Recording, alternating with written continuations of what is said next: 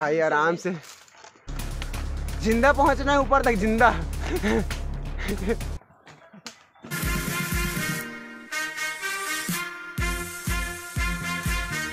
ए, Google map का भरोसा करके आए हैं, इसका नतीजा लग रहा है मेरे को, भाई।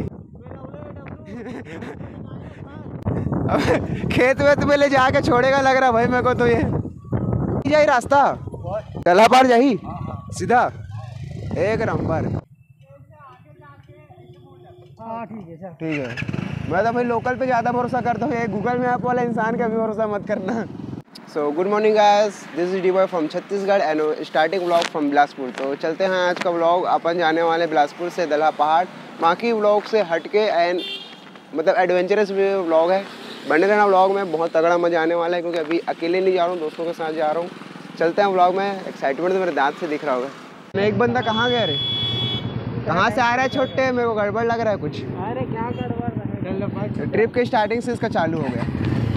ट्रिप में क्या होगा? सामान का पानी का बीमारी बहुत बुरा रे दिन में दस बार पानी पियो बीस बार जाओ आधा ज़िंदगी साला बाथरूम में चला जाता है रे। सावन की दुकान देखा ना? चलो। तो गाइस यहाँ अपना जो भी ज़रूरी सामान था ना रास्ते में ले लिया है। उसके बाद सीधा जाने वाले हैं सीपत। कहीं भी नहीं रुकेंगे एकदम स्पीड से चलेंगे क्योंकि वहाँ बहुत सारा शूट करना है व्लॉग ना। तो यहाँ बहुत कम शूट करेंगे, ये मैंने सोचा है। तो चलते हैं।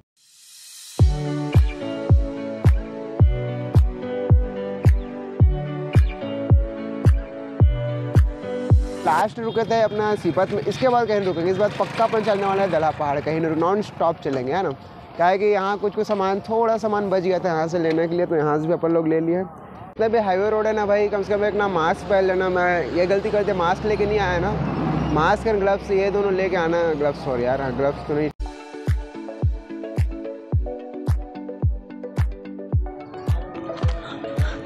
ये अपने फाइनल स्टॉप था, यहाँ से कुछ कुछ सामान लिए लेने, खाने वाने के लिए, वहाँ जाने के बाद भूखा नहीं रहना है कि। एंड रास्ते से ढाबे से भी कुछ कुछ सामान पैक करना है तो वो सब तो है ही है। एंड भाई, यहाँ आओगे ना तो धूल बहुत उड़ता है भाई। स्काफ ज़रूर ले आने स्काफ बहुत ज़्यादा ज़रूरी है। बिना स्काफ के आओगे तो शकल का पूरा बैंड बच जाएगा और 2000 years later. जाने के जो मेन रोड है ना सिपत वाले उसके राइट साइड है ना रे? राइट साइड मुड़ा कच्चा रास्ता कटा है कुछ इस तरीके से कटा है मतलब कच्चा ही रास्ता है पूरा। अभी गाड़ी स्टार्ट नहीं हो पा रहा हो। गया हो गया। तो ये अपने शुभम के गाड़ी में आते तो शुभम के गाड़ी में आते हैं ना भाई तो चक्का जो अलग से डुलाते डुलाते लेके जाना पड़ता चलो रे। मस्त जोक मारा ये हंस रे हलकट हंस। ओ भाई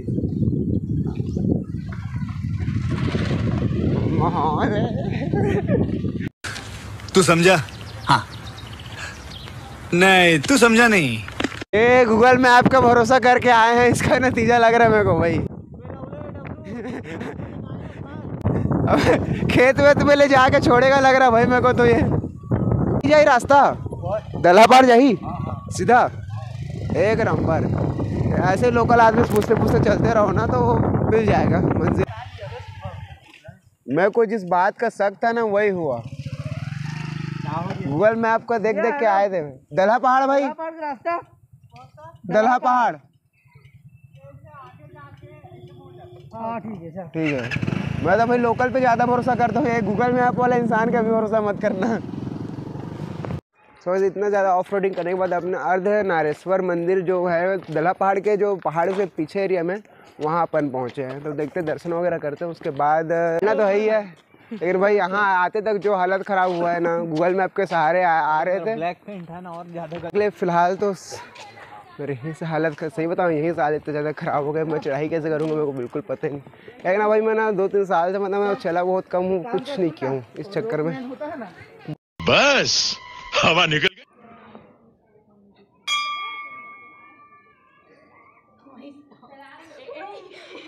हो गया दर्शन।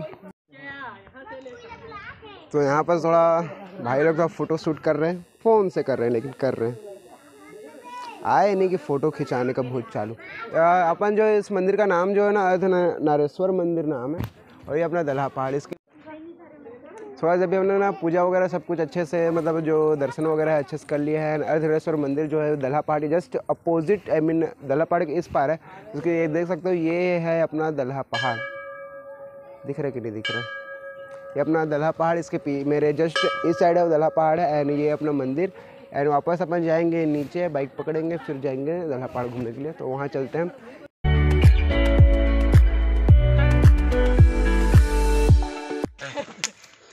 भाई आराम से। ज़िंदा पहुँचना है ऊपर तक ज़िंदा।